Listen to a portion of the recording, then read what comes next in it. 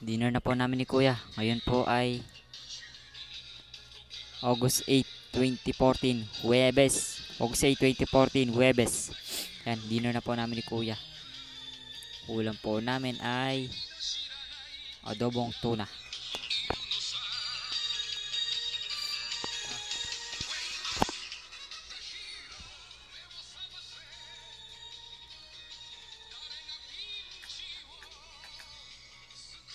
Đó.